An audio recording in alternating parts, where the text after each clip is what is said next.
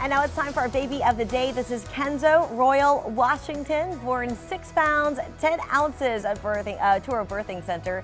He actually arrived early and is joining his five big brothers at home. Mom, you're so close to having a football team. Uh, Mom says she's done after this and has finally accepted that she will be the only queen in the house, as you should be. Congratulations, though, to the family here and welcome to New Orleans.